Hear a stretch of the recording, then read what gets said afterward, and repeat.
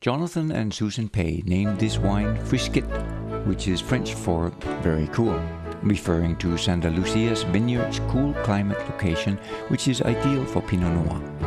Deep, saturated red in color, the Pey Lucia 2006 Frisquet Pinot Noir earned a 94 points and outstanding rating from the Pinot Report and 90 points from Stephen Tanzer. This Pinot Noir is bright, lively, and engaging on the nose with sumptuous aromas of dark berries, Asian spices, rose petals, and musky underbrush. Full fruit flavors of blackberry, cherry, and black raspberry come forward on the palate, while spice and hints of oak add structure and create savory, silky texture and flavor.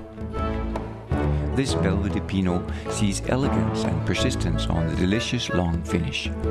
The Pinot report says, This is a terrific Pinot, well worthy of your attention. Pair with Pacific Rim barbecued pork ribs or grilled flank steak. Enjoy now until 2012.